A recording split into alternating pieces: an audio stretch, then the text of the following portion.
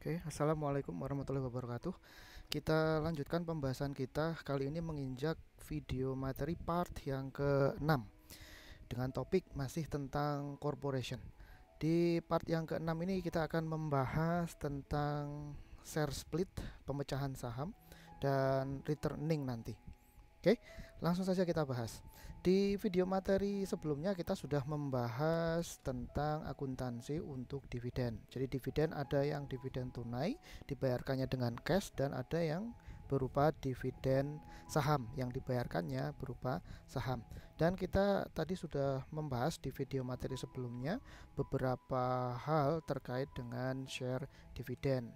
Jadi kalau share dividen itu nanti total ekuitasnya tidak akan bertambah. Dia hanya semacam mengubah dari returning diubah menjadi share capital.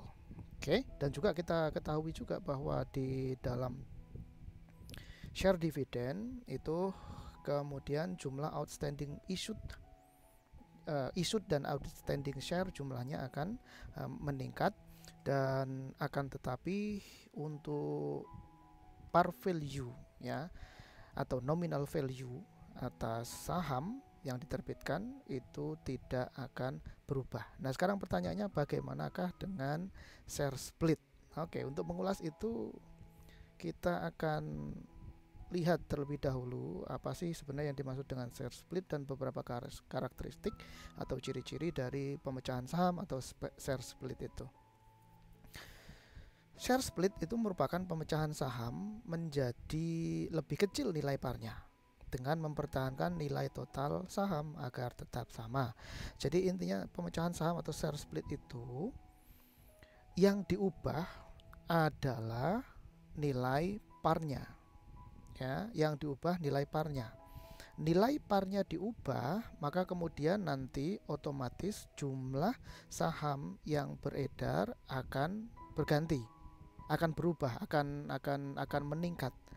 Kenapa jumlah lembar sahamnya akan meningkat? Karena kata kuncinya itu tadi. Dalam share split, total nilai saham akan dipertahankan tetap sama. Kan gitu.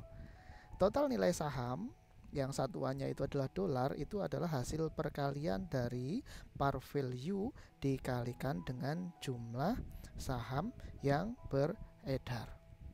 Oke, jadi kalau saya tulis ke dalam sebuah rumus, maka saya tulis di sini aja ya. Saya tulis ah, atau di atasnya saja akan saya tulis. Ini saya hapus. Jadi kalau saya tulis di sini total nilai saham, hmm, total nilai saham, total nilai saham yang beredar atau outstanding share adalah sama dengan par value ya par value dikalikan dengan jumlah saham yang beredar. Jumlah saham beredar. Oke. Okay. total nilai oh ini bukan outstanding share saya ganti aja supaya lebih presisi lebih akurat lebih tepat. Namanya bukan outstanding shares melainkan total nilai share capital. Share capital. Oke okay, ya. Nah ini saya kuningi terlebih dahulu.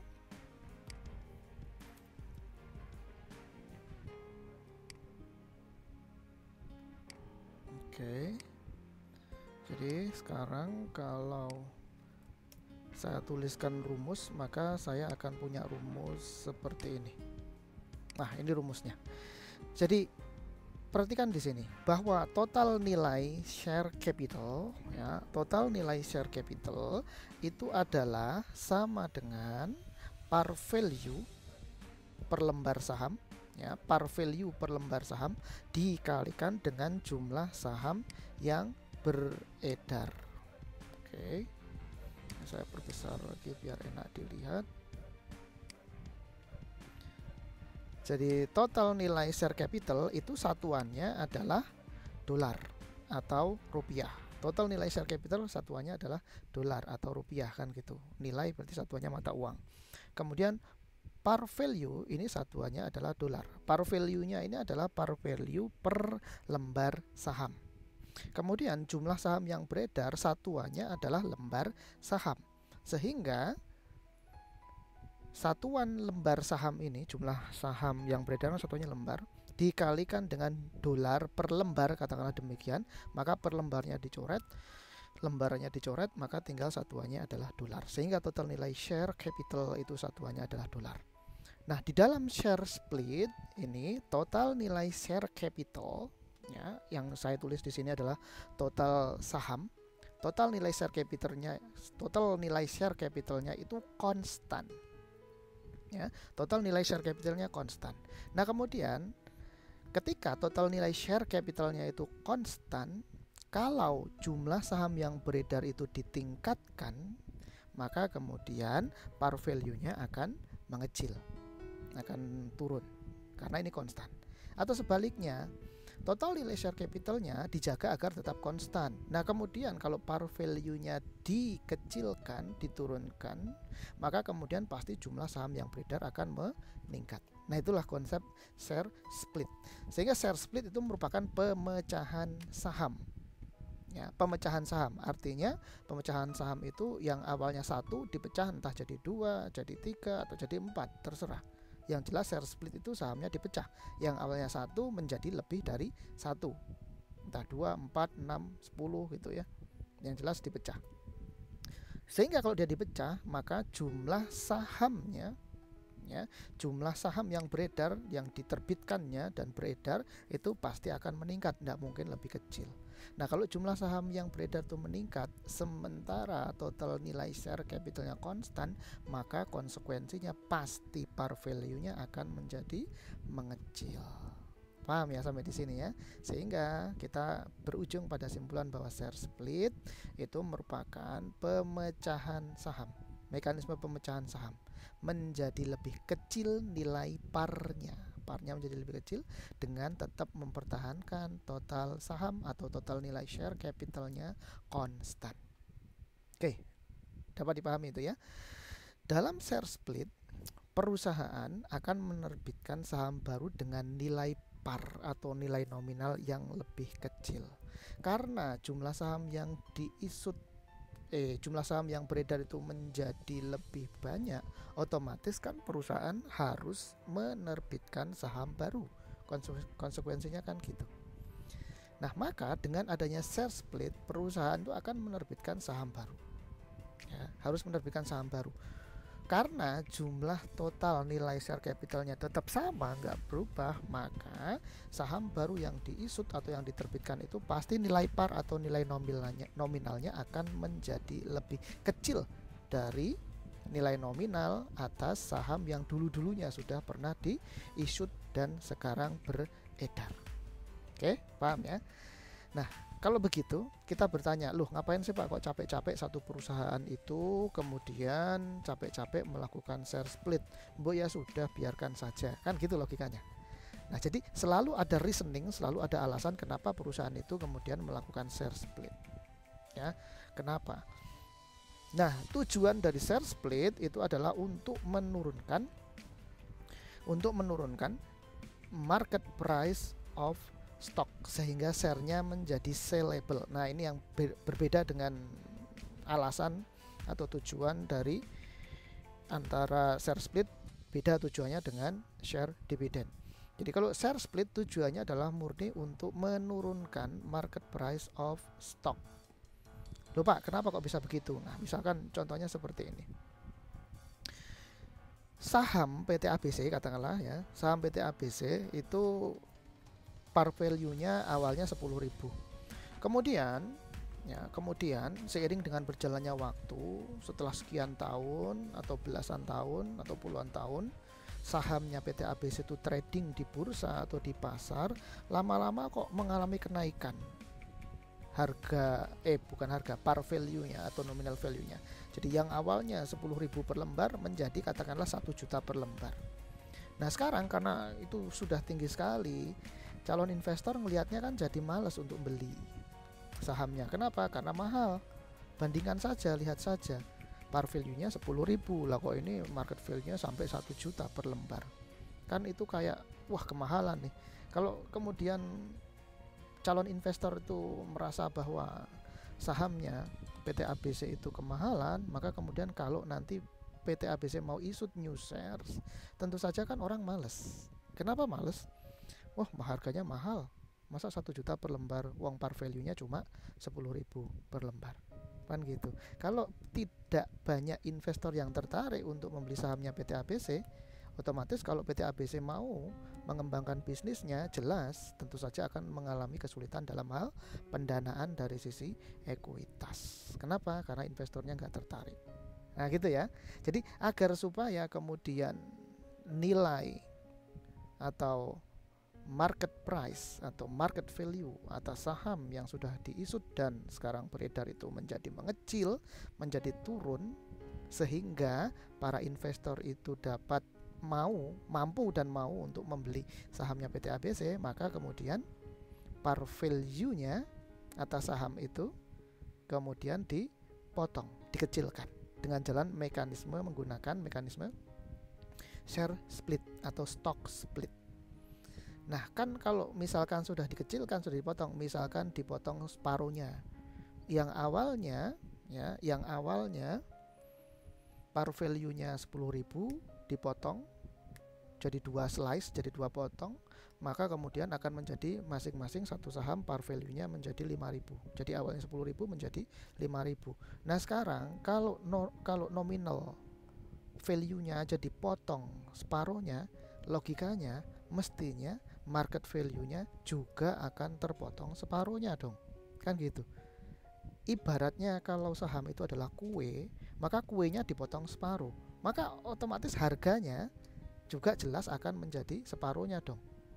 Ya, logikanya kan seperti itu. Atau at least harganya akan menjadi turun, tidak semahal tadi. Ya, gitu ya, dapat dipahami ya. Jadi kalau harganya turun menjadi separuhnya, maka banyak sekarang calon investor yang dapat membeli saham PT ABC tersebut atau dengan kata lain saham PT ABC sekarang menjadi reachable, menjadi sellable. Kenapa? Karena harganya menjadi separuhnya. Oke, nah sebagai contoh sekarang misalkan share split 2 for 1 Artinya untuk setiap satu lembar saham akan dipecah menjadi dua saham baru Ini disebut sebagai share split 2 for 1 Artinya setiap satu saham akan dipecah satu lembar saham akan dipecah menjadi dua lembar saham. Jumlahnya eh, maksudnya adalah jumlah saham yang beredar atau diisut, jumlah saham yang diisut dan beredar akan menjadi dua kali lipat, ya, akan menjadi dua kali lipat dengan fair value yang mengecil. Fair value-nya mengecilnya adalah agar supaya ini konstan total nilai share capitalnya. Kalau jumlah saham yang beredar dinaikkan menjadi dua kali lipat ini kan dua kali lipat maka agar supaya ini konstan maka par value nya juga akan turun atau mengecil separuhnya. Ya akan mengecil separuhnya. Kalau ini kan dua kali lipat jumlah saham yang beredar meningkat dua kali lipat maka per value nya akan mengecil dua kali lipat juga. Mengecil dua kali lipat itu artinya menjadi separuhnya ya menjadi separuhnya. Oke. Nah kalau sekarang kita lihat ya, kita bandingkan. Kalau perusahaan itu melakukan share split, maka apa pengaruhnya ya? Sekali lagi kalau satu perusahaan itu melakukan share split, maka apa pengaruhnya kan gitu ya. Pertama, share split itu akan mengakibatkan bertambahnya jumlah saham sejumlah kali lipat dari share split tersebut. Kan sudah jelas tadi ya bahwa share split ini total nilai share capitalnya konstan. Kemudian par value-nya dikecilkan. Kalau par value-nya dikecilkan, nominal value-nya dikecilkan agar supaya ini konstan, maka jumlah saham yang beredarnya akan meningkat, akan naik jelas itu. Kemudian yang kedua share split akan mengakibatkan berkurangnya nilai par value atau nominal value sejumlah kali lipat dari share splitnya. Jadi kalau misalkan di contohnya di sini tadi share splitnya 2 for 1 maka kemudian par value-nya akan berkurang separuhnya akan berkurang menjadi separuhnya kemudian kalau share splitnya misalkan 4 for 1 ya 4 for 1 maka kemudian jumlah saham yang beredar akan meningkat empat kali lipat, sementara par value-nya akan mengecil menjadi seperempat kalinya. Oke, itu yang disebut sebagai share split mengakibatkan berkurangnya nilai par value atau nominal saham sejumlah kali lipat dari share split. Kemudian share split juga akan mengakibatkan berkurangnya nilai market price saham. Logikanya pasti begitu akan berkurang nilai market price atau market value atas saham tersebut. Analoginya tadi adalah ini kan satu kue. Ibaratnya saham itu adalah satu kue, wong kuenya sekarang dipotong jadi dua, katakanlah demikian, mosok harganya tetap sama kan tidak mungkin. Paling enggak itu menjadi separohnya atau yang jelas pasti akan berkurang. Biasanya proporsional dengan stock split pengurangan market price-nya. Pak, apakah selalu pasti market price-nya akan terbagi menjadi dua juga, terbelah menjadi dua juga? Jawabannya adalah belum tentu. Bisa saja dilakukan stock split two for one. Harusnya secara matematis, maka market price-nya akan menjadi separuhnya, itu matematisnya. Tapi boleh jadi, bisa saja kemudian market price-nya itu tetap berkurang, tetapi menjadi 55 persennya. Ya, 55 persennya saja. Nah, itu ya tetap berkurang tetapi tidak kurangnya itu persis 50% ya mungkin saja Pak mungkin ya mungkin. Kemudian share split tidak mengakibatkan perubahan persentase kepemilikan saham dan share capital. Maksudnya yang tadi total nilai share capitalnya tetap konstan walaupun ada share split. Dan perhatikan persentase kepemilikan sahamnya pun juga tetap sama ya persentase kepemilikan saham di antara para shareholder shareholders tetap sama jadi misalkan Pak Agus memiliki persentase kepemilikan saham di PT ABC 20%, maka setelah ada stock split atau share split, maka kemudian persentase kepemilikannya tetap aja sama 20%. Loh Pak kan jumlah lembar sahamnya menjadi lebih banyak yang dimiliki oleh Pak Agus. Iya, menjadi lebih banyak, dua kali lipat karena two for one, stock split atau share split, two for one. Tetapi kan paruh value-nya mengecil menjadi separuhnya, jadi tetap aja sama nilai sah uh, nilai modal yang distorkan oleh Pak Agus untuk PT ABC. Jadi dengan kata lain persentase kepemilikan saham akan konstan ketika adanya share split, nggak ngefek. Jadi apa Pak efeknya Pak? Eh, yang jelas efeknya adalah ini tadi, dua ini tadi ya.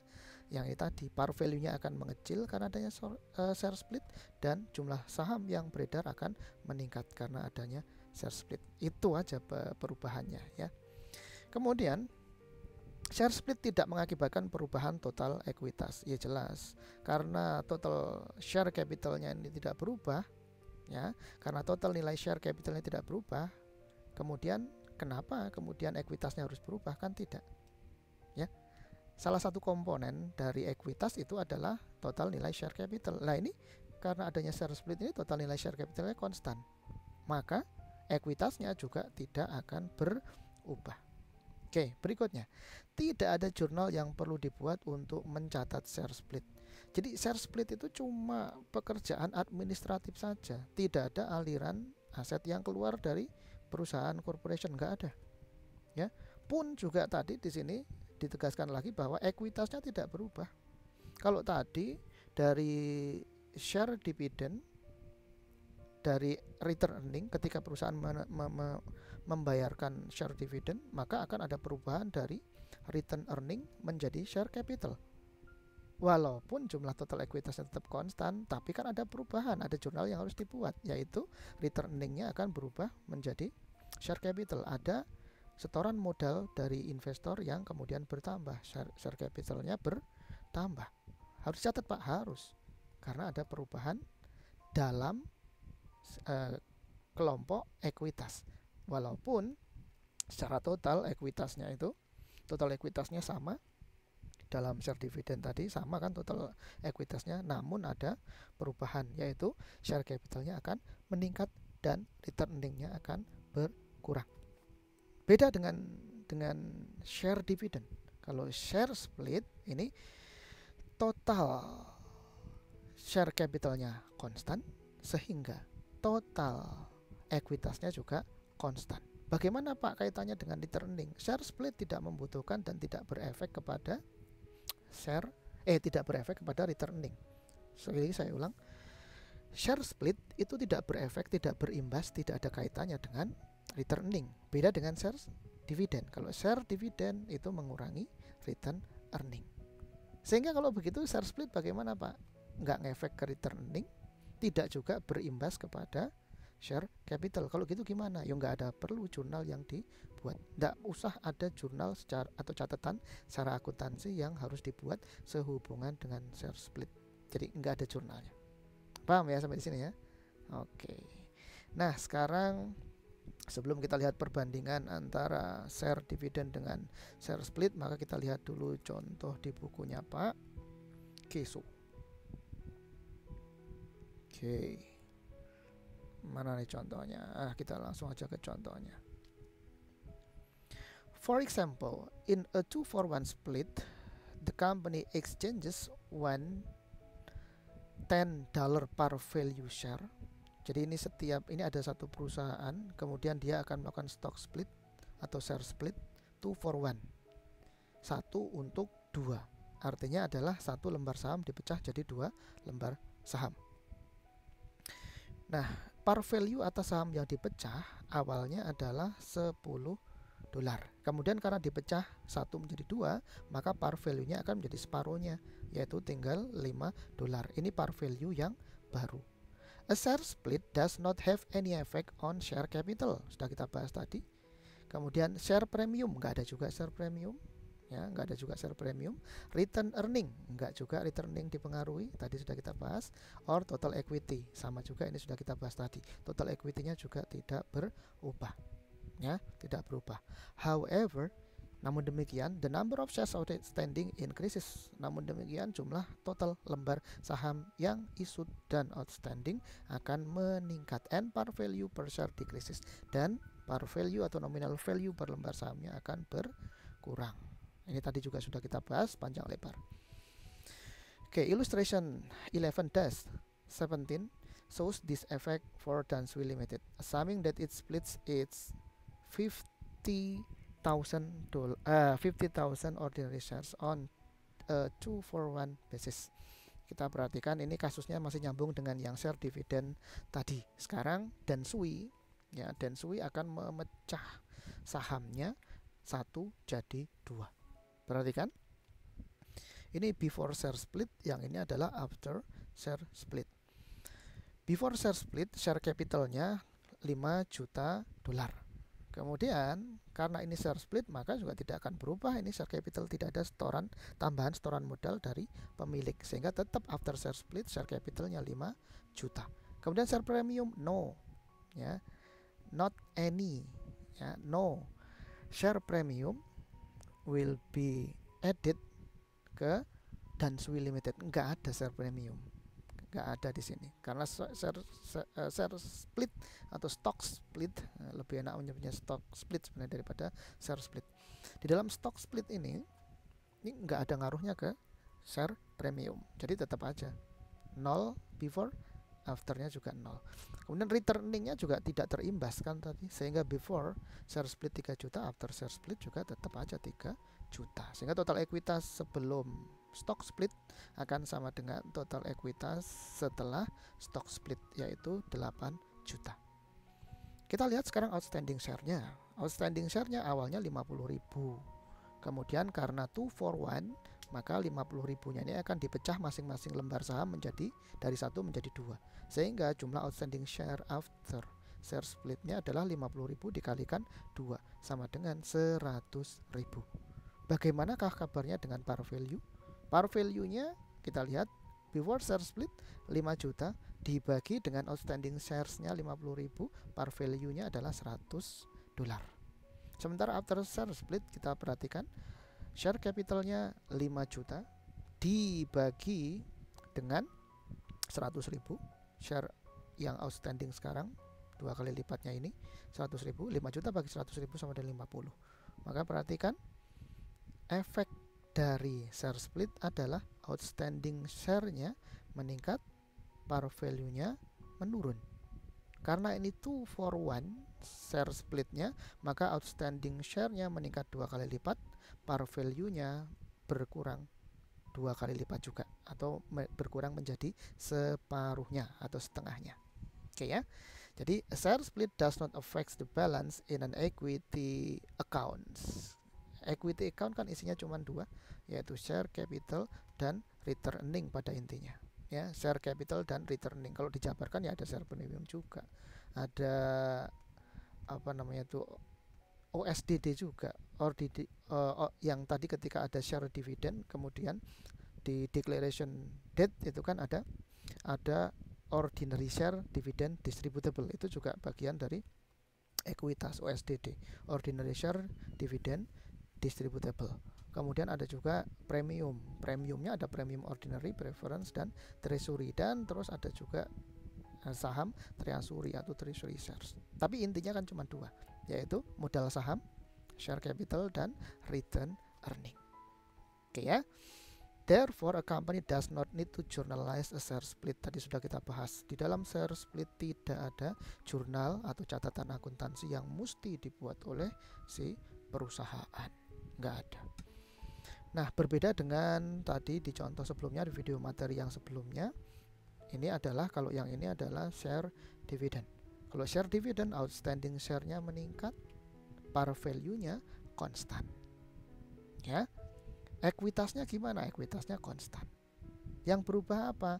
Returning-nya berkurang, diubah menjadi share capital.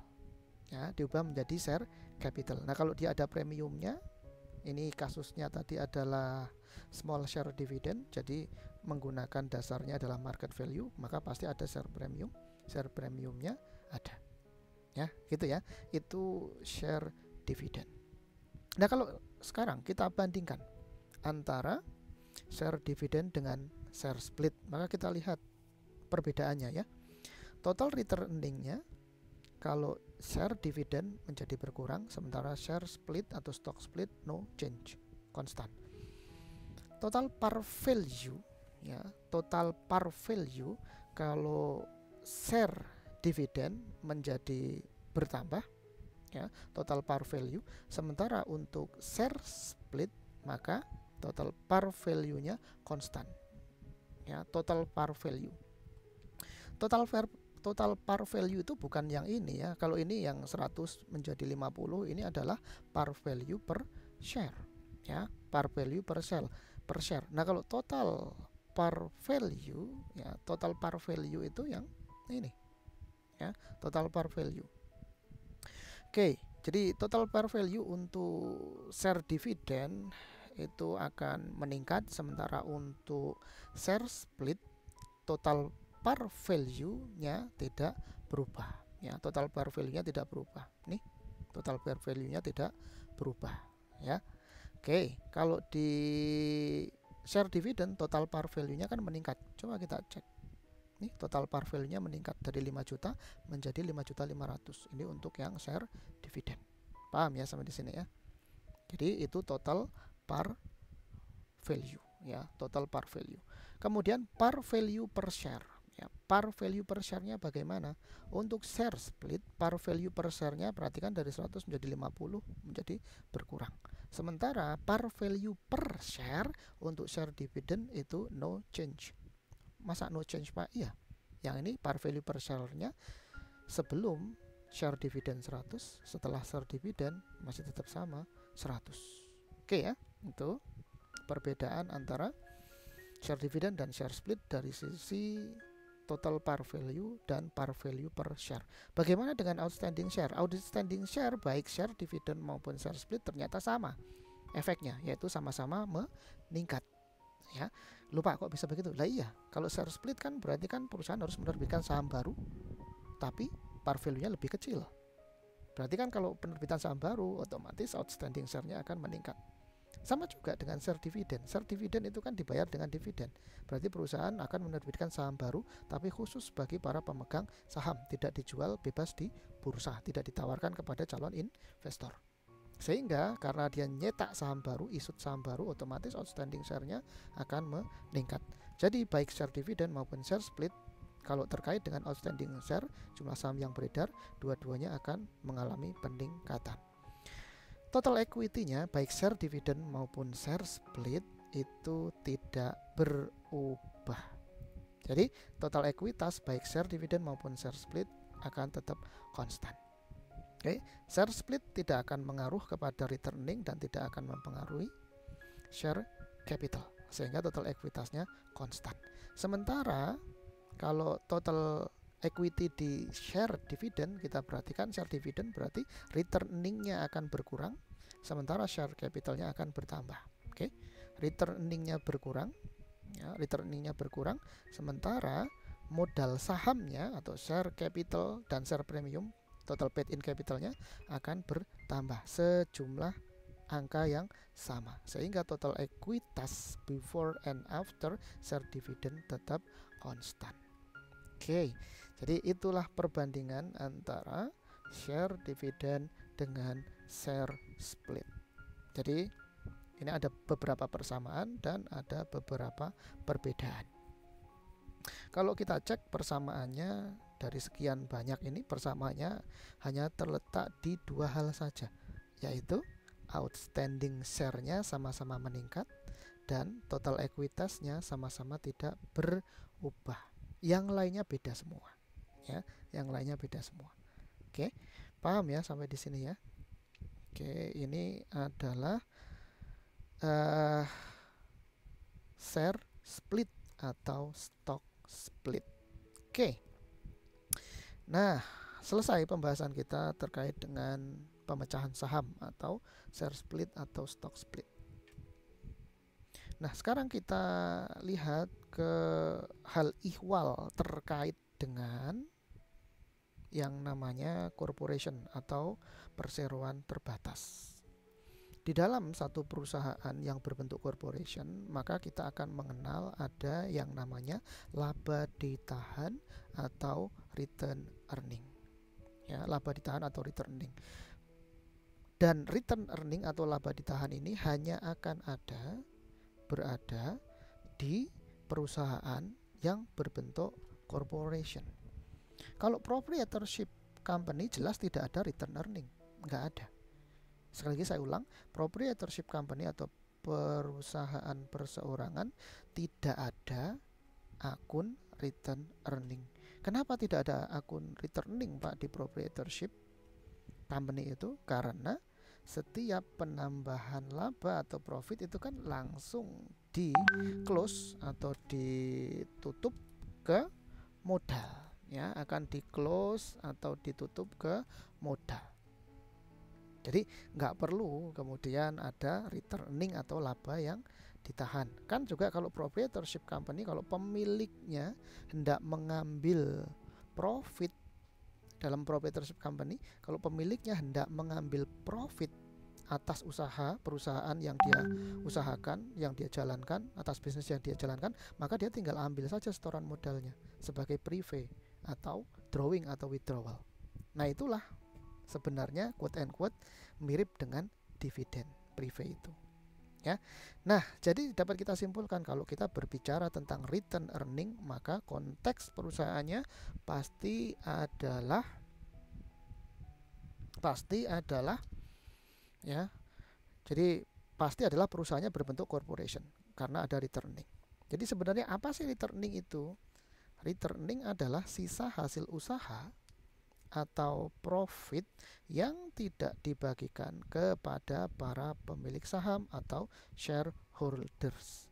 Saya ulang, returning merupakan bagian dari profit atau hasil usaha atau laba yang digenerate oleh satu perusahaan corporation yang kemudian tidak dibagikan kepada para pemilik saham, para pemodal, tidak dibagikan kepada para pemodal tentu saja dalam bentuk dividen. Oke. Okay?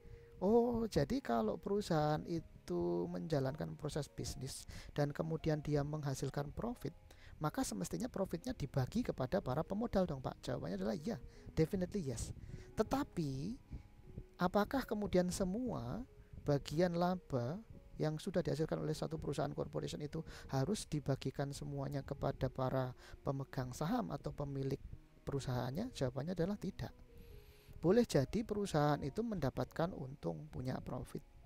Kemudian profitnya itu sebagian akan digunakan lagi untuk investasi internal di perusahaan tersebut dalam rangka mengembangkan bisnisnya.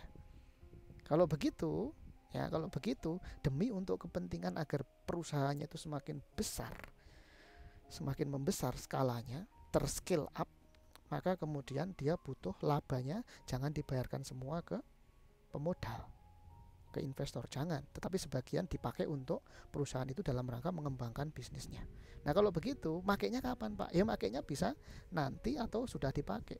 Kalau makainya nanti maka ada bagian laba perusahaan yang belum dibayarkan kepada para pemegang saham. Nah itulah yang disebut sebagai return earning jadi returning adalah sisa hasil usaha atau profit yang digenerate oleh satu corporation yang belum atau tidak dibagikan kepada para pemegang saham.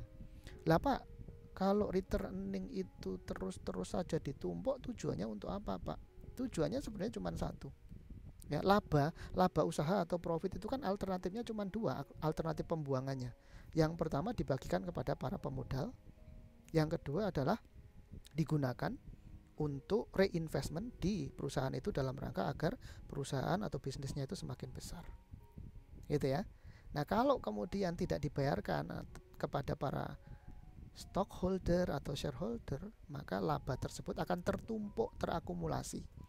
Nah, akumulasian atau tumpukan profit yang tidak didistribusikan, tidak dibagi kepada shareholder, itulah yang disebut sebagai laba ditahan atau return earning. Oke ya. Nah, sekarang kita lihat ke returning. Returning itu dengan share capital sudah saya katakan tadi di video materi sebelumnya bahwa returning dan share capital itu ibaratnya dua sisi dari satu koin yang sama. Koinnya ini adalah sama-sama koin ekuitas. Oke, saya ulang. Jadi koinnya itu adalah sama-sama satu koin saja yaitu koin ekuitas. Sisi ekuitas yang satu itu disebut sebagai setoran modal oleh pemilik atau share capital dan kemudian sisi koin yang satu, sisi ekuitas yang satunya lagi itu adalah berupa tumpukan profit yang belum atau tidak dibagikan kepada para pemegang saham yang disebut sebagai returning. Nah, kalau begitu, kita lihat sekarang di returning.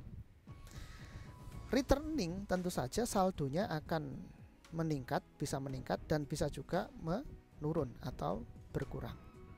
Oke, sekali saya ulang, returning saldonya bisa meningkat, bisa menurun bertambah oleh adanya profit si returning. Kapan returning itu akan meningkat? Tentu saja karena tadi ini adalah sisa sisa hasil usaha atau profit yang tidak dibagikan. Kalau satu perusahaan itu dalam satu periode itu kemudian laba atau profitnya itu meningkat, ada gitu ya, ada profitnya bukan meningkat ya, ada profitnya. Kalau dalam satu periode itu kemudian perusahaan ada profit menghasilkan laba, maka kemudian laba tersebut pasti akan menambah saldo return earning. Kalau kita lihat di jurnal closing atau jurnal penutup closing entries kan nanti income summary yang merupakan selisih antara revenues dan expenses itu ujung-ujungnya income summary akan di close ke returning. Kalau income summary-nya ada di sisi kredit artinya total revenue-nya lebih gede daripada total expense-nya, maka kemudian income summary-nya akan di close dengan jalan di debit kemudian returningnya akan dikredit. Nah returning dikredit berarti bertambah sehingga profit itu akan mengakibatkan penambahan atas saldo return earning. Oke? Okay? nah return earning itu juga bisa berkurang. Kapan berkurangnya returning? Returning akan berkurang jika ada net loss ya atau dengan kata lain kebalikan dari profit ya kebalikan dari profit. Kan tadi kalau ada net income atau profit, maka kemudian returningnya akan bertambah. Nah, berarti logikanya kalau dia perusahaannya tidak menghasilkan profit atau tidak mengalami net income, sebaliknya malah mengalami net loss, maka returningnya akan berkurang, ya, berkurang. Dan juga dan juga return earning saldonya itu akan berkurang oleh karena adanya oleh karena adanya dividen. Kan tadi kalau kita lihat di jurnal penutup atau closing entries bahwa cash dividend atau share dividend itu semua ujung-ujungnya nanti di akhir periode katakanlah tanggal 31 Desember itu akan di close dividen itu. Nggak close-nya ke mana? Closing atas dividen itu adalah secara langsung atau directly close to returning tidak melalui income summary. Jadi returning akan berkurang jika ada dividen ya. Jika ada dividen akan berkurang baik cash dividen maupun share dividen ujung-ujungnya akan di close secara langsung ke returning. Returningnya akan di debit ya. Returningnya akan di debit kan cash dividen atau share dividen tadi kan saldo normalnya ada di debit.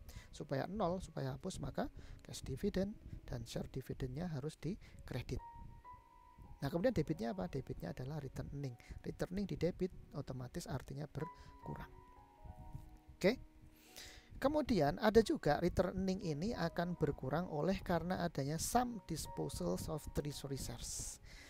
Sudah kita bahas di pembahasan kita di video materi sebelumnya bahwa ketika satu perusahaan itu punya saham treasury dan kemudian dijual dan hasil penjualannya itu lebih kecil daripada costnya harga perolehannya. Jadi hasil penjualan lebih kecil daripada harga perolehannya. Dan kemudian saldo ya saldo share premium des treasury-nya treasury-nya itu kemudian nol maka dia akan mengambil return earning ya. Quote and quote kan berarti rugi. Kenapa rugi? Karena cash receive dari penjualan treasury shares itu lebih kecil daripada cost atas saham treasury-nya. Sehingga sebagai penyeimbangnya harus debitnya ditambah. Ditambah dengan apa? Karena e, debitnya harus ditambah, harus ada akun yang ada di debit maksudnya. Kenapa? Karena sebagai penyeimbang kan debit kredit harus seimbang. Kemudian penyeimbangnya itu kan sebenarnya kan harusnya kan share premium dash treasury namun karena share premium dash treasury-nya itu saldonya nol, tidak ada, maka kemudian diambilkanlah sebagai penyeimbang di debitnya itu diambilkanlah return earning. Ya, diambilkanlah return earning. Paham ya sampai di sini ya. Jadi di sini kata-katanya adalah some disposals of treasury shares. Oke. Berikutnya yang terakhir return earning itu juga bisa terpengaruh oleh karena adanya koreksi atas kesalahan yang dilakukan oleh perusahaan di masa lalu atau periode sebelumnya. Oke. Jadi kalau ada kesalahan pencatatan atas satu transaksi kan ujung-ujungnya pasti akan mempengaruhi kepada ya kepada returning. Ya, kalau ada kesalahan pencatatan itu kan akan berpengaruh kepada returning. Kalau kesalahan pencatatannya itu terkait dengan uh, nominal account, ya. Kalau kesalahannya terkait dengan nominal account itu ujung-ujungnya nanti pasti akan berpengaruh kepada return earning. Nah, Pak, kalau kesalahannya ditemukannya baru sekarang, sementara kesalahannya itu terjadinya sudah setahun yang lalu atau periode lalu atau dua tahun lalu bahkan atau mungkin lima tahun yang lalu baru ketahuan sekarang, terus bagaimana, Pak? Kita tidak perlu kemudian buka catatan atau laporan keuangan yang lalu lima tahun yang lalu itu kita buka terus kita perbaiki nggak usah. Terus gimana dong Pak caranya? Ya kita perbaiki periode sekarang aja berdasarkan kesalahan yang kita temukan baru saat ini atas transaksi lima tahun yang lalu. Kita perbaiki sekarang. Nah terus gimana caranya Pak? Kan itu kan sudah transaksinya sudah lima tahun yang lalu. Caranya adalah kalau koreksi atas kesalahan itu terkait dengan nominal account, yaitu terkait dengan revenue atau expenses, maka kemudian ujung-ujungnya akan ngaruh ke return earning Lupa kenapa kemudian yang di adjust itu adalah returning? Karena ingat revenue dan expense itu yang lima tahun yang lalu itu itu sudah di closing. Nggak close-nya ke mana? Tentu saja ke returning. Nah, paham ya? Jadi kalau kemudian kesalahannya itu terjadinya itu periode yang lalu dan sudah closing, maka pasti kesalahan itu akan di-adjust ke return earning. Proses koreksiannya itu akan melibatkan return earning. Oke ya, akan melibatkan return earning. Nah, efeknya bagaimana Pak terhadap return earning? Kalau yang namanya koreksi atau kesalahan, koreksi atas kesalahan, maka efeknya bisa menambah atau mengurangi return earning. Ini sifatnya kasuistik, tidak bisa dijadikan general rule. Seperti kalau net income jelas ini akan menambah, net loss akan mengurangi. Dividen jelas pasti akan selalu mengurangi return earning. Kemudian kalau ada penjualan saham treasury yang ruginya kebangetan gitu ya dan sudah tidak punya share premium on treasury tadi maka jelas ini pasti akan mengurangi returning nah kalau prior period adjustment bagaimana Pak bisa menambah bisa bisa menambah returning bisa juga mengurangi returning sifatnya kasuistik ya sifatnya kasuistik jadi kalau misalkan depreciation expense-nya itu ternyata ketinggian atau kebanyakan misalkan setahun yang lalu itu depreciation expense-nya dicatatnya itu ketinggian, kebanyakan. Kalau depreciation expense-nya itu kebanyakan, otomatis nanti returning-nya akan menjadi kerendahan. Jurnal koreksinya bagaimana? Yo kalau begitu ya returning-nya harus ditambah, ya returning-nya harus ditambah. Debitnya apa Pak? Accumulated depreciation. Kan kalau depreciation expense-nya itu kebanyakan, otomatis accumulated depreciation-nya juga kebanyakan. Nah, sehingga jurnal koreksinya bagaimana Pak? Kalau terkait dengan prior period adjustment, returningnya ditambah berarti di kredit, debitnya tentu saja accumulated depreciation dikurangi karena kebanyakan. Oke, paham ya? Nah, berikutnya, return earning itu merupakan bagian dari ekuitas tadi sudah kita jelaskan. Saldo normal return earning tentu saja adalah di kredit. Kenapa? Karena dia bagian dari ekuitas. Ingat, ekuitas itu adalah di sisi sebelah kanan tanda sama dengan. Sisi kanan tanda sama dengan dalam persamaan akuntansi itu disebut sebagai kredire. Nah, di absorb ke bahasa Inggris namanya kredit dan di bahasa Indonesia menjadi kredit. Kemudian kalau ada saldo saldo normal returning kan berarti kredit. Kalau kemudian ada saldo returningnya itu minus dalam arti saldo returningnya itu berada di debit maka disebut sebagai perusahaan itu corporation itu mengalami defisit. Jadi sekarang kita paham ya. Oh, ternyata kalau perusahaan defisit itu maksudnya adalah saldo laba ditahannya itu berada di sisi debit. Defisit yang dimaksud defisit itu itu. Jadi perhatikan ini ini ini ini insight atau ilmu baru. Jadi kalau perusahaan itu mengalami defisit itu artinya saldo return earningnya itu tidak berada di kredit melainkan di debit. Maka dalam konteks kelompok ekuitas pasti nanti akan menggerus saldo share capital. Jadi saldo share capitalnya akan terkurangi dalam konteks total ekuitas. Itulah yang disebut sebagai defisit. Ya, perusahaan itu mengalami defisit. Oke, paham ya? Oke. Nah, kemudian return earning dapat pula dibatasi penggunaannya selain untuk dibagikan sebagai dividen. Tadi pas kita membahas tentang dividen, baik cash dividen maupun share dividen ada satu syarat atau klausul ketika mau membagikan dividen yaitu bahwa perusahaan corporation itu harus memiliki saldo return earning yang cukup memadai ya cukup memadai. Nah, itu jika return earningnya itu penggunaannya tidak dibatasi. Artinya tidak ada diatur penggunaannya, artinya free return earning. Di satu perusahaan corporation bisa jadi return earningnya itu akan dibatasi penggunaannya. Artinya tidak boleh sembarangan dipakai itu loh, tidak bebas dipakai. Nah, return earning yang direstrik atau dibatasi penggunaannya itu alasannya macam-macam. Kenapa kok satu perusahaan itu melakukan restriksi atau pembatasan atas penggunaan return earning? Apa saja itu macam pembatasan atau restriksi atas returning? Yang pertama bisa pembatasan return earningnya itu karena legal restriction diwajibkan oleh regulasi. Misal di satu negara mewajibkan bahwa saldo return earning yang boleh dibagikan kepada para pemegang saham itu adalah maksimal 80%. Tidak boleh lebih dari 80%. Artinya 20% saldo return earning itu dibatasi by regulation, by legal bahwa 20% saldo returning harus disimpan tidak boleh dibagikan kepada para pemodal. Nah, itu legal restriction. Perusahaannya gimana, Pak? Ya harus nurut. Ya, harus nurut. Kemudian contractual restriction. Ya, contractual restriction.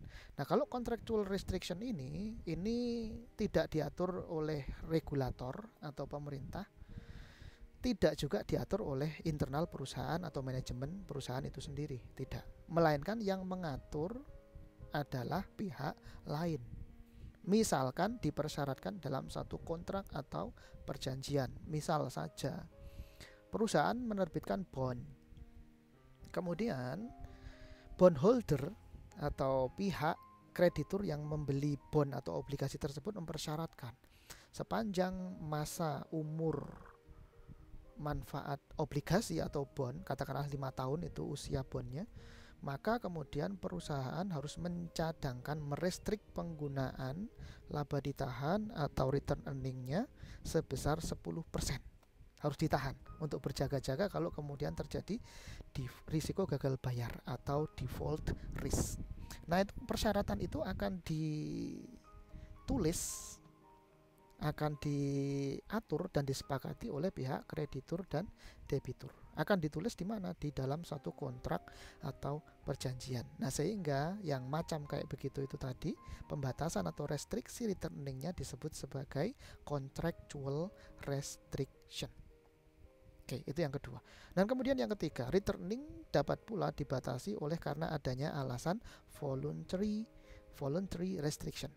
Nah, kalau yang voluntary restriction ini ide untuk membatasi laba ditahan ini dibuat oleh manajemen perusahaan itu sendiri. Misalkan diputuskan oleh dalam RUPS, dalam RUPS diputuskan bahwasanya taruhlah misalkan 30% return earningnya harus ditahan gitu misalkan tidak boleh dipakai untuk didistribusikan kepada para pemegang saham Nah, yang membuat keputusan itu adalah RUPS bersama dengan manajemen tentunya dalam rapat umum pemegang saham. Ya, ditandatangani oleh BUD dan manajemen atau CEO gitu misalkan. Nah, yang pembatasan penggunaan returning yang seperti itu disebut sebagai voluntary restriction. Jadi kita runut ya. Saya ulang, kalau legal restriction itu diatur di dalam regulasi yang membatasi adalah pemerintah atau regulator. Kalau contractual restriction itu kesepakatan antara perusahaan dan pihak lain, pihak eksternal dinyatakan dalam satu kontrak tertentu. Kemudian kalau voluntary restriction itu murni ide atau keputusan dari pihak internal perusahaan, pembatasan atas laba ditahannya. Oke. Pembatasan atas laba ditahan itu akan didisklus didisklus itu maksudnya disajikan diberitahukan diinformasikan dalam catatan atas laporan keuangan. Nah kalau begitu bagaimana pak? Itu ada jurnalnya atau enggak pak? Nah kalau di, di cuma di diinformasikan atau disajikan di dalam catatan atas laporan keuangan jelas itu tidak ada jurnalnya. Terkait dengan restriksi atau pembatasan returning itu tidak ada jurnalnya Kemudian returning menjadi akun koreksi untuk adanya kekeliruan pencatatan pada periode yang lalu. Yang ini tadi loh, yang prior period adjustment. Kenapa kok kemudian semua kesalahan yang sudah terjadi di masa lampau itu kemudian akan diperhitungkan, akan ditandingkan ke returning karena ini ingat tadi penjelasan saya tadi bahwa semua akun yang revenue dan expenses atau semua akun nominal di akhir periode akan di close ke return earning. Maka itulah alasan kenapa kemudian kalau ada prior period adjustment kesalahan di periode masa lalu yang sudah tutup buku, maka kemudian akan dilarikan atau akan ditandingkan ke return earning sebagai akun koreksi. Tapi syaratnya adalah kalau yang terpengaruh adalah revenue dan expense lo ya. Kalau tidak ada pengaruhnya ke revenue dan expense ya nggak usah gitu loh ya, nggak usah. Oke. Okay. Berikutnya, prior period adjustment dilaporkan dalam statement of return earning analog dengan laporan perubahan modal. Ini maksudnya adalah kalau ada kesalahan atau koreksi kesalahan masa lampau itu nanti juga harus disajikan di dalam return earning statement atau statement of return earning. Koreksinya harus dimunculkan. Oke. Nah, sekarang supaya lebih jelas ini hitung-hitungannya seperti apa, sekarang kita lihat contoh di bukunya Pak Kesu. Oke. okay. to demonstrate that returning and cash may be quite different. Nah, sudah lah ya. Ini kenapa kok kemudian returning itu beda dengan cash ya?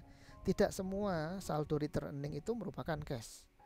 Maksudnya gimana? Loh Pak, itu kan returning kan laba perusahaan Pak. Laba perusahaan yang ujung-ujungnya kemudian akan di close ke returning. Berarti kan laba perusahaan itu berarti tambahan uang dong Pak bagi perusahaan. Jawabannya adalah oh belum tentu ya, belum tentu. Return earning itu beda dengan cash ya. Returning beda dengan cash. Lupa kok kenapa bisa beda? Ingat bahwasanya pencatatan akuntansi yang berlaku di dunia ini itu menggunakan sistem pencatatan akuntansi secara accrual basis.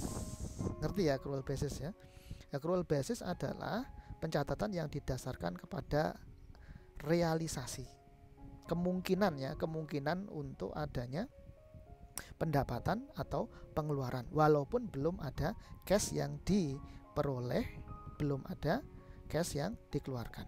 Maksudnya gimana Pak? Ini penjelasan mengenai cash basis versus accrual basis itu kan sudah di awal-awal dulu di semester lalu di pengantar akuntansi satu. Tapi tidak apa-apa kita jelaskan lagi jadi pencatatan akuntansi itu ada dua mazhab ada secara cash basis ada juga secara uh, accrual basis kalau pencatatan akuntansi secara cash basis itu artinya transaksi atau catatan akuntansi atau jurnal akuntansi itu baru muncul atau transaksi itu baru dicatat kalau ada melibatkan cash masuk maupun cash keluar.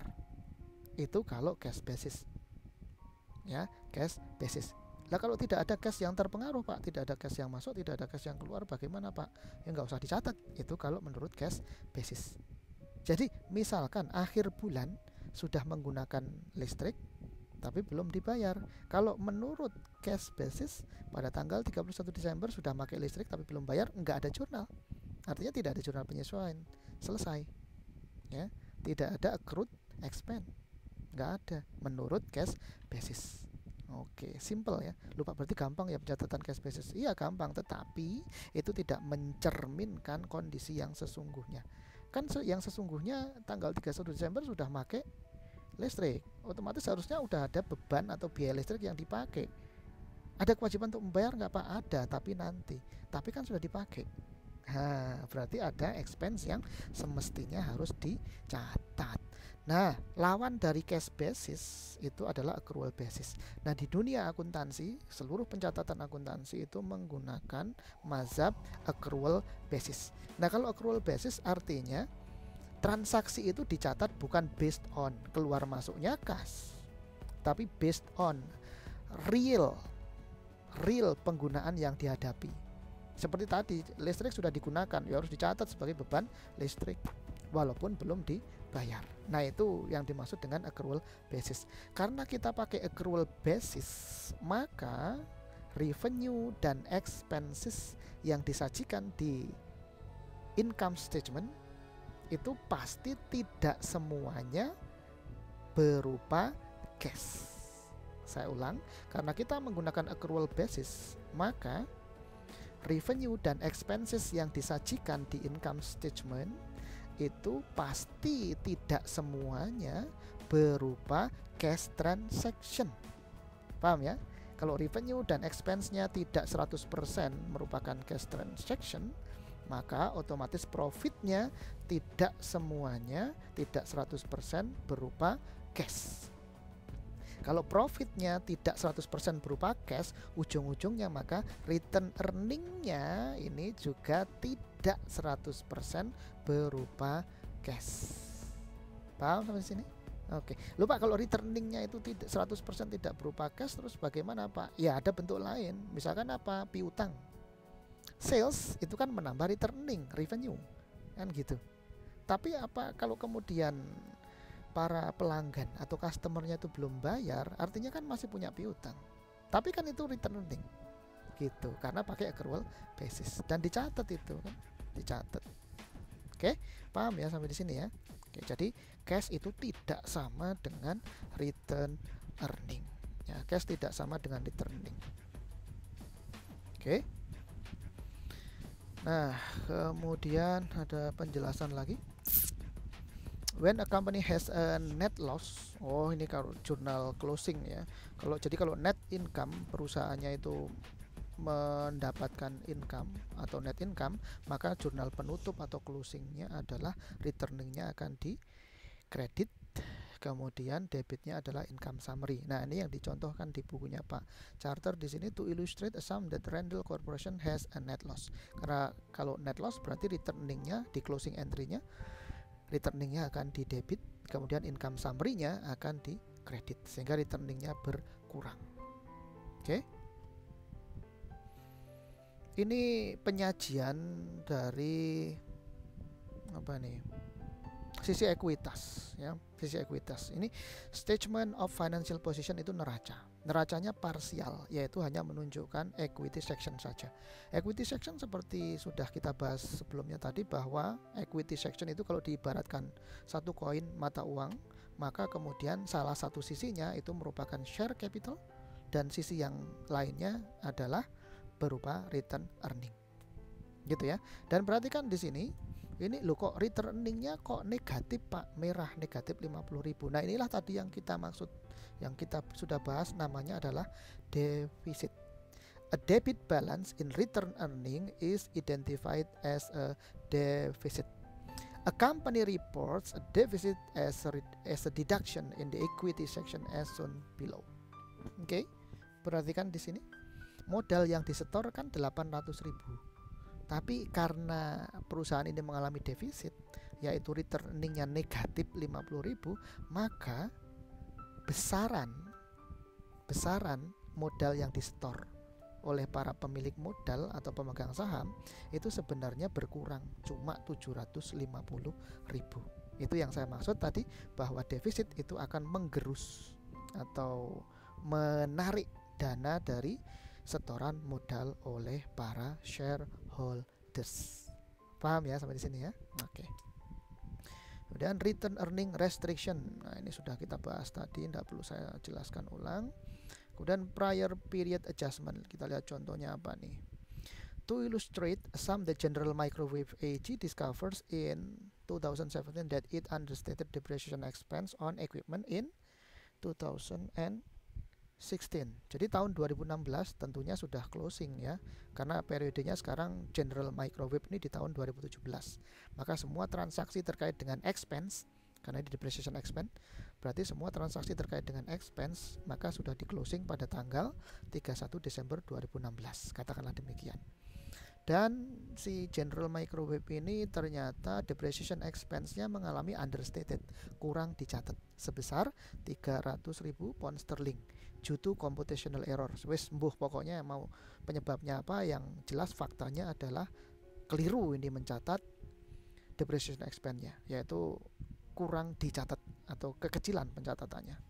These errors overstated both net income for 2016 karena ini expense-nya ini understated maka jelas net income-nya overstated and the current balance in returning kalau net income-nya itu overstated jelas returning-nya juga overstated. Karena ini sudah prior period adjustment ya sudah prior period failure gitu ya prior period kesalahan di periode sebelumnya, maka kemudian nanti koreksiannya pada tahun 2017 akan langsung diatribusikan, diperhitungkan dengan return earning.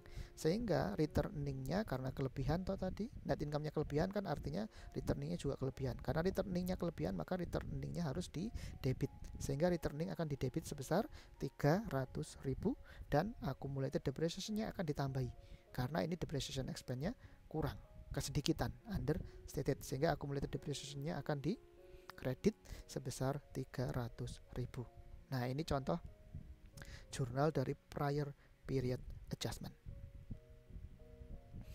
Kemudian, nah ini contoh penyajian kesalahan, koreksi kesalahan di return earning statement atau statement of return earning. Jadi saldo tanggal 1 Januari sebelum ada koreksi 800.000 pound sterling. Kemudian karena ada koreksi tadi return earningnya kan kelebihan sehingga return earningnya dikurangi.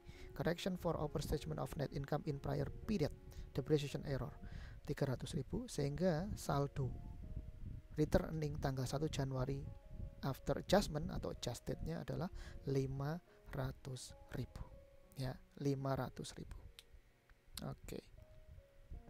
nah kemudian returning statement ini tadi sudah kita bahas ya bagaimana penambahan mutasi tambah ini mutasi tambah di kredit ini mutasi kurang di debit faktor-faktor apa saja yang bisa mengakibatkan menjadi penyebab penambahan returning dan pengurangan pengurangan return earning. Nah, itu tadi sudah kita bahas. Nah, sekarang kita lihat ke returning statement. Di perusahaan corporation ada namanya returning statement ya atau statement of returning. Laporan laba ditahan bahasa Indonesianya. Nah, returning statement itu mirip dengan kalau di proprietorship company itu ada namanya laporan perubahan modal atau statement of changes in equity atau statement in changes in equity kalau di proprietorship company. Artinya adalah laporan tersebut akan memberikan informasi kepada user, kepada penggunanya mengenai perubahan saldo returning kalau returning statement yaitu perubahan saldo mulai dari tanggal 1 sampai dengan tanggal 31 mulai dari beginning of the period sampai menjadi saldo di end of period. Nah, kita berbicara di sini return earning statement. Maka kemudian laporan ini akan memuat perubahan atau mutasi saldo return earning mulai dari awal periode tanggal 1 Januari sampai dengan akhir periode tanggal 31 Desember. Oke, kita perhatikan contohnya. Saldo tanggal 1 Januari as reported 1.050.000. Ini returning untuk Grabber SE ya, untuk untuk periode tahun 2017. Berakhirnya tanggal 31 Desember tahun 2017. Saldo awalnya 1.050.000. Kemudian correction tadi ada koreksi. Apakah yang tadi? Oh, enggak beda. Koreksinya bukan itu tadi. Correction for understatement of net income ya, understatement of net income karena net income-nya understatement maka kemudian returningnya juga understatement ya returningnya juga understatement kalau returningnya understatement maka koreksinya maka returningnya harus ditambah sehingga balance tanggal 1 Januari as adjusted after adjustment adalah 1.050.000 ditambah 50.000 sama dengan 1.100 kemudian sebenarnya kita cukup menerapkan yang mutasi tambah dan mutasi kurang ini tadi ya returning akan bertambah oleh karena adanya net income. Oke, net income ternyata sehingga ditambah 360.000 akan menjadi 1.460.000 dan returning akan berkurang oleh karena less by cash dividend. Oh, ada cash dividend 100.000 dan ada share dividend sebesar 200.000. Sehingga total pengurangannya adalah 300.000. Sehingga saldo akhir return earningnya adalah 1460.000 dikurangi 300.000 sama dengan 1.160.000 nah ini adalah statement of return earning atau return earning statement bagi Grabber SE Nah kalau begitu returning statement jelas ini hanya dibuat oleh perusahaan yang bertipe corporation nggak ada returning statement itu dibuat oleh perusahaan perseorangan atau proprietorship company dan perusahaan persekutuan atau partnership company. Enggak, mereka tidak membuat return earning statement karena memang tidak memiliki akun return earning. Kalau akun modal atau atau capital semua jenis perusahaan baik proprietorship, partnership maupun corporation semuanya pasti punya modal. Tidak ada perusahaan tidak punya modal. Oke ya, tidak ada perusahaan yang didirikan dengan 100% ngutang. Itu tidak ada. Oke. Nah, sampai di sini pembahasan kita ternyata sudah habis. Ini pembahasan mengenai returning diakhiri dengan returning statement. Oke, selesai sampai di sini. Saya rasa sudah cukup. Bisa kita akhiri pembahasan part ke berapa ini tadi? Part ke-6 terkait dengan dividen dan returning. Oke, terima kasih.